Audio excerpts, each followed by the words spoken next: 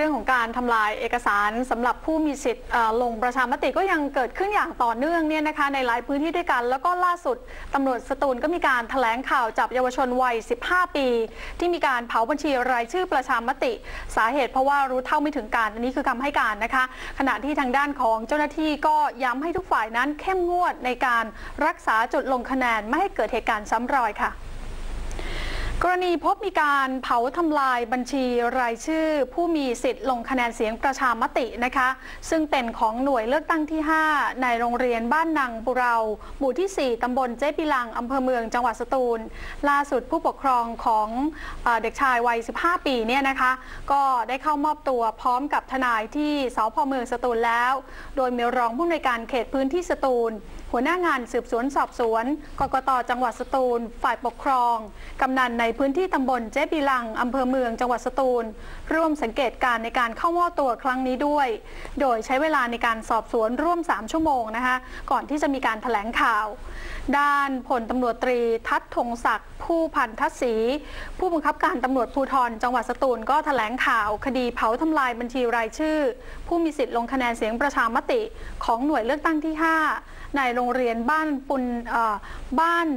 บันนังปูเลาหมู่ที่ 4 ตำบลเจ๊บิลัง อำเภอเมืองจังหวัดสตูล เมื่อวันที่ 21 กรกฎาคมที่ผ่านมาเนี่ยนะคะ หลังจากที่ผู้ปกครองเยาวชนวัย 15 ปี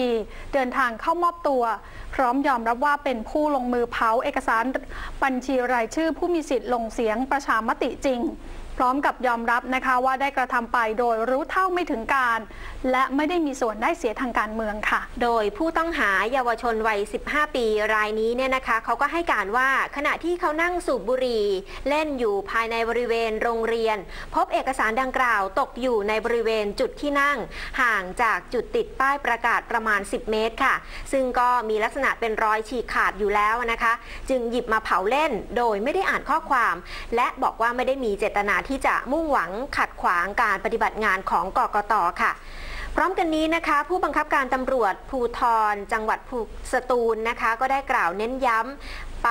ทางหน่วยลงคะแนนเสียงต่างๆ ในการติดตั้งเอกสารด้วยค่ะว่า ให้ติดตั้งให้มีความหนาแน่นนะคะ และทางผู้บริหารโรงเรียน กำนันผู้ใหญ่บ้าน ฝ่ายปกครอง รวมทั้งตำรวจเนี่ยก็ควรที่จะเพิ่มมาตรการการสอดส่อง หน่วยลงคะแนน เพื่อไม่ให้เกิดเหตุการณ์ซ้ำรอยขึ้นอีกค่ะ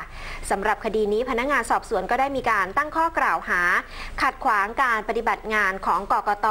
ทำให้เสียทำลาย หรือทำให้เสื่อมค่า ซึ่งเอกสารนั้นมีไว้เพื่อสาธารณประโยชน์ค่ะด้านนายอำนาจพรมดวงที่ปรึกษากฎหมายสำนักงานกฤษฎาทนายความนะคะ ซึ่งเป็นทนายความของเยาวชนวัย 15 ปีคนนี้ก็เล่าว่า